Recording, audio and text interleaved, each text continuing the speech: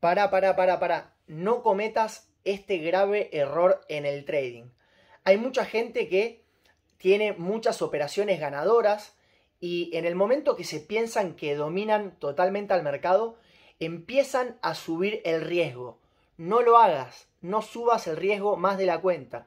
Si vos utilizás el 1%, el 2% de tu capital por operación, utilizás siempre el mismo riesgo y seguí las reglas al pie de la letra. ¿Qué pasa?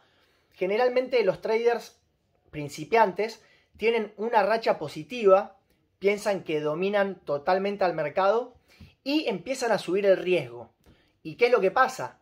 Te agarra una racha negativa, te agarra sobreapalancado o utilizando más riesgo del que vos estás utilizando generalmente y te puede llegar a ir muy mal, hasta poder llegar a perder la cuenta entera. Además, fíjate que esto es pura estadística.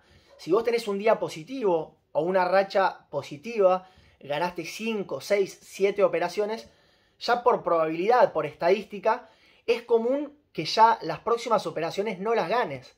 Ganaste 4, 5, 6 operaciones, quizás que la próxima no la ganes. No subas el riesgo, no te sobreapalanques. Haceme caso y seguime para más contenido como este.